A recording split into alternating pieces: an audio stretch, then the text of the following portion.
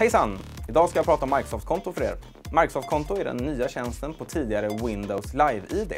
Så har du en mailadress och ett lösenord och använder till exempel Outlook.com, OneDrive, Windows Phone eller Xbox Live, ja då har du faktiskt ett Microsoft-konto. Skulle det vara så att du inte använder någon av dessa tjänster, ja då kan du väldigt enkelt gå in på onedrive.se och registrera dig.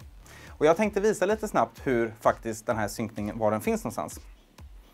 Du sveper då in i startläget från högersidan, trycker på inställningar, ändra datorinställningar och sen går du in på SkyDrive, inställningar för synkronisering och här har du alla de inställningarna så att du får med dig din upplevelse när du byter enhet.